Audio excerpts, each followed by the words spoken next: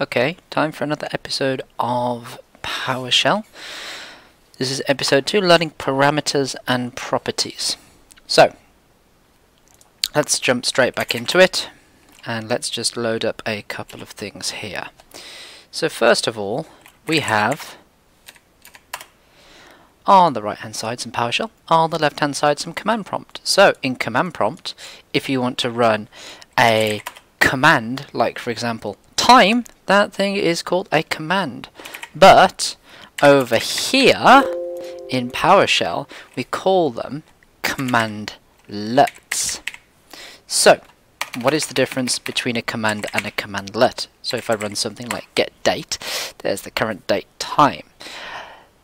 There really isn't a difference between a command and a commandlet. It's just a command you put into the system.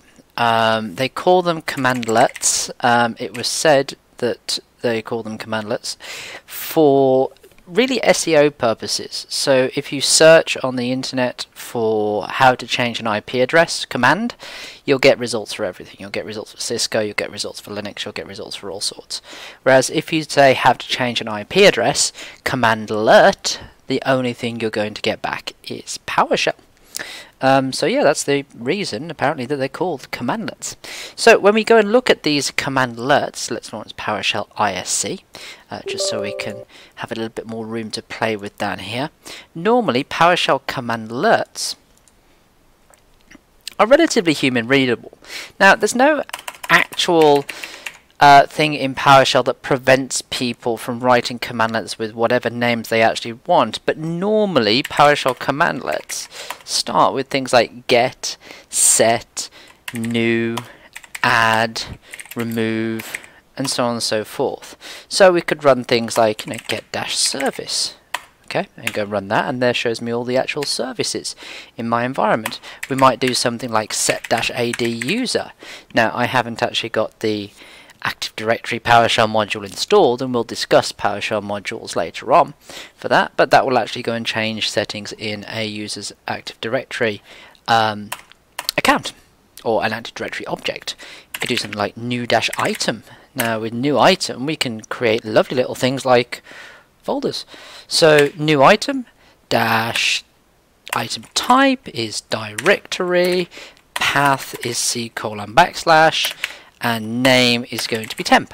And if I go and run that line, I actually get here, let's have a look inside this PC, see I get a document called, or a document, a directory called temp. Not particularly interesting, so let's go and delete that.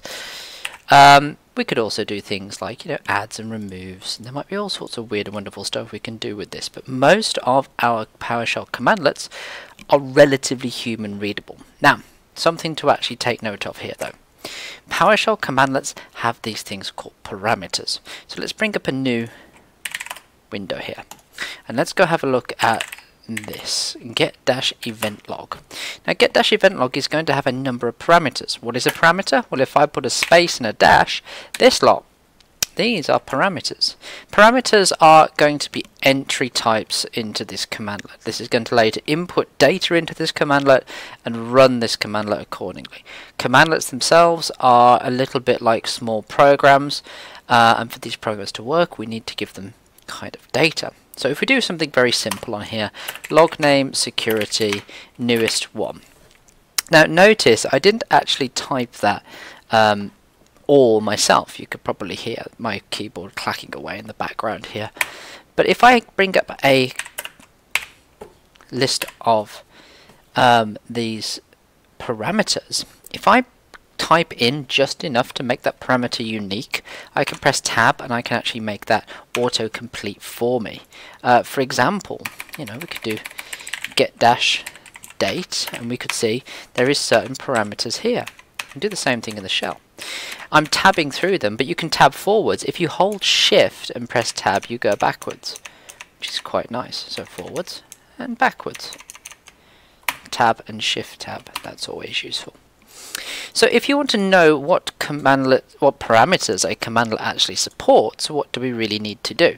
Well, if you go and look at the documentation, they recommend you actually go and run get help.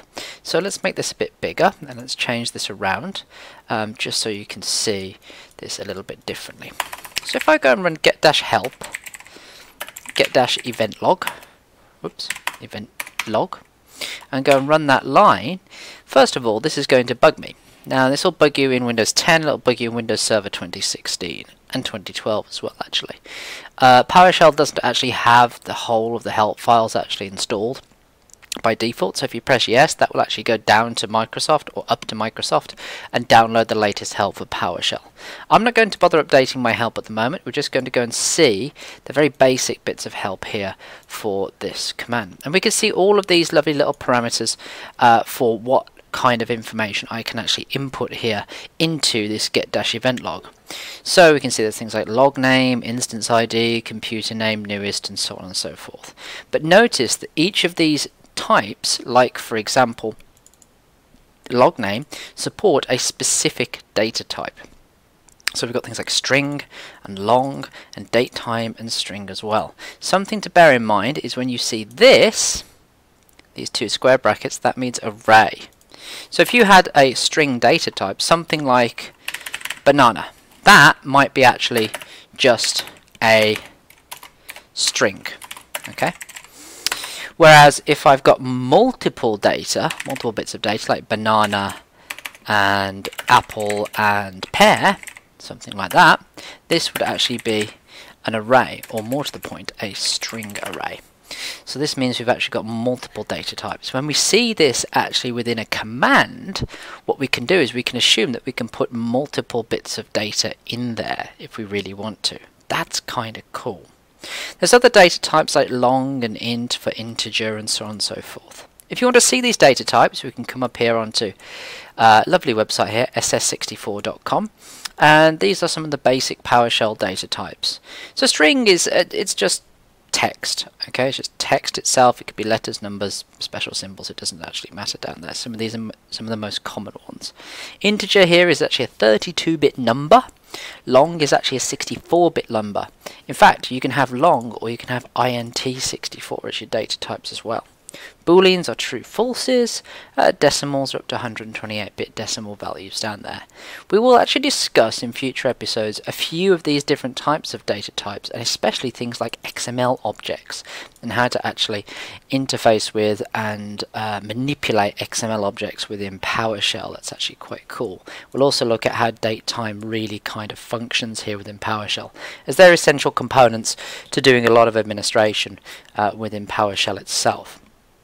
So we can see, for example, log name requires a string data type, something like security down here, because that's a log name in event log. All that I'm really doing here is I'm looking at event viewer, which we can see from here, basic event viewer, um, in PowerShell the rule to really remember with PowerShell is everything you can do pointy clicky, you can do typey typey. Whereas newest, for example, is going to require a number of some sort. So if you see newest here, that's actually got an integer down there. So I can put newest 5 and that will give me the last 5 entry types. Now if I really want to see how to use this command properly, um, there is a couple of options within get help. Uh, another one that you can put on the end of this is full, and if you run get help, your commandlet and put dash full on there, you'll get a lot more information down here for the commandlet, and you can see what all of these parameters actually are for the commandlet. Are you actually going to use this? Maybe. I mean, you can use it just for checking a couple of things, but in reality, no, not really. You want help on a PowerShell commandlet? Google is your friend, honestly. If you go to get-event log, just whack that into Google, you will turn up with docs.microsoft.com down here. And docs.microsoft.com is where the PowerShell documentation actually lives. You're going to spend a lot of time in here. Okay, um, it's docs.microsoft.com now. It used to be years ago TechNet. Microsoft decided that TechNet was a bit of a mess, which it was. So they decided to kind of nuke that one, and um, it's now all docs.microsoft.com, all very, very nicely laid out. And if we look at the PowerShell 5.1 documentation here, there's a few examples about how this command actually works, and there's a few other examples down here about what all the individual parameters actually do. It's the same information, but with more detail. Okay, If you really want to know how a commandlet works, get help is only going to get you so far. You really want to look at the actual documentation itself. Okay. There is one more thing down here that we really want to talk about is we want to actually see properties. There's two sort of things we have to really think about which is input and outputs um, of data. So your inputs are normally actually going to be um, your parameters okay, which is log name and newest. Your outputs, on the other hand, are going to be properties. Again, you'll find out later on that I cannot actually spell for toffee. So let's go and have a look at something very simple. Let's do a get service spooler again. So just get the print spooler service. Notice I have here three properties. I have status, I have name, I have display name. These are actually showing as an object, and we'll get to objects later on, but for the moment you can consider objects a little bit like an Excel spreadsheet. So you can actually see here, PowerShell knows the relationship between its data. What I mean by that is if I go and get multiple services, so let's just go and run the get service command to get all of these. So we can see the statuses of all the services that are actually running on this computer. You'll notice that within uh, PowerShell, PowerShell actually knows about the fact that this is a column of data and these are titles of the properties of the data and we could sub-select each individual line. It understands the relationship between the data. Imagine the differences being like this being as an Excel spreadsheet versus this being in a text document. In an Excel spreadsheet you can do a lot more with filtering that data and actually playing with that data itself. But there's something else with this. Let's just go and have a look at just run get service spooler again to bring one back. These are properties. Status, name, display name. We'll do a lot with properties later on. This is the output of the data. There is a very, very, very important commandlet here. Okay, and that incredibly important commandlet is if I just put a pipe on the end of this. If you can't find the pipe key on your keyboard, it's to the left of the Z key on your keyboard. Um, well, at least on the UK keyboard anyway. Um, the pipe command takes the output of one command and puts it into another and we're going to look at get member. Now get member you will use a lot. This will show me all the properties that I can actually bring back from this command commandlet. So if I go and run uh, F8 on there you'll see the get service spooler has a whole bunch of stuff going on with it. This is exactly what get service spooler can actually output and what it can also take as well. Don't worry about the methods and the events and everything at the moment, but just focus on properties. These are the possible outputs of this data. So you can see things like display name, machine name, site, startup type, and status. Now if we notice if we just run get service spooler, it doesn't display all of those properties. If you don't tell PowerShell exactly what properties you want to bring back from a commandlet, it kind of decides on that for you. Depending on the logic that somebody has put in for that commandlet, they'll say, okay, look, he hasn't given me, uh, he or she hasn't given me any properties. I will just give them what I think they're actually going to need. Now we can actually go and select some of these properties. So we can do things like get dash service again, spooler, and if I use this command, select, I can actually go and select individual properties. So if I go and select, for example, status, status, and actually just run that command, you'll notice I'm just retrieving status is running. If I do status, comma, space, name, and run that again, I'm getting name and status. I could also do other properties down here, so I might do something like uh, machine name. Now I'm just getting machine name here from the property itself that I've already looked up via get member.